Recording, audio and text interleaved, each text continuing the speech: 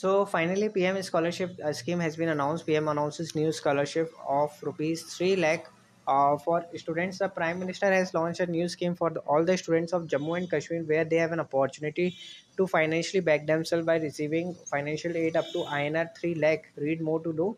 So scheme name is Prime Minister Special Scholarship Scheme (PMSS) or AICTE JK Scholarship. All India Council of Technology AICT is providing this financial support for the eligible candidates. SC professional 226, general 166, medical aid total 400. So scholarship uh, distribution among students is given based on caste category as follows, right? So uh, let's see some more in information. Some of the documents required for PMSS. Uh, you can take a screenshot or you can note it uh, somewhere else.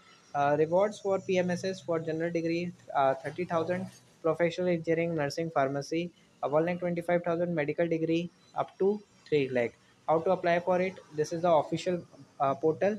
Uh, contact number has also been given which is available Monday to Friday 9:30 to 5:30 and this is the official email ID okay? So you can go and apply for it. For more updates you can subscribe us. Stay tuned with us